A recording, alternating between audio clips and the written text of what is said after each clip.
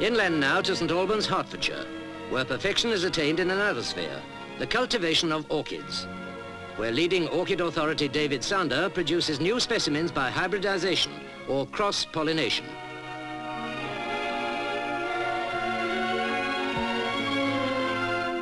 After this process, the pedigree names of both parent species are noted, and a record made later for the stud book of orchids, the Sander's list of orchid hybrids, which, together with the Jockey Club stud book, are the only two stud books in existence dating back 100 years.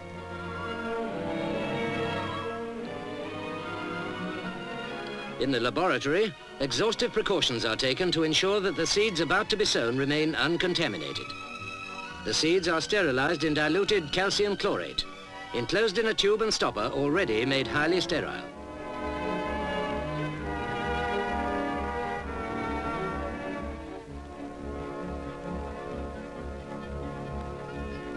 These safety measures are never relaxed for a moment. And when the seeds are sown on this jelly-like sterile substance, which, by the way, contains all the sustenance required by the future orchids for the next few months, the operation has to be carried out over a steaming bowl of water so that no foreign bodies can descend into the flask.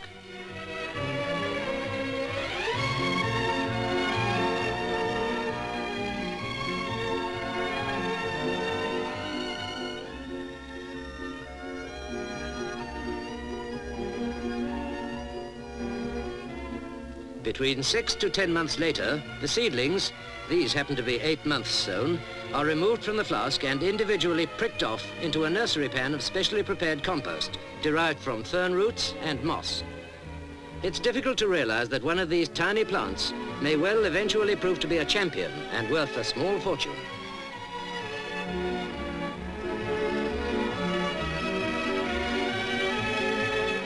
Even at this stage, great care in cleanliness and culture is needed if the small plants are to be raised to maturity in about five years, when their blooms will be first seen.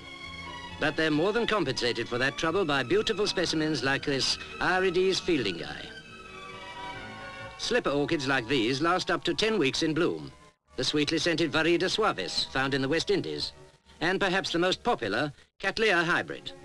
Just a few of more than 15,000 known species of this exotic plant that captivates the heart of women from Iceland to New Zealand, the orchid.